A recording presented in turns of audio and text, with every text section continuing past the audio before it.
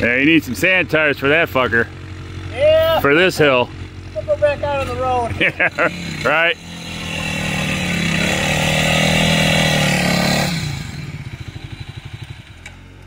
Something weird with my fucking handlebars here.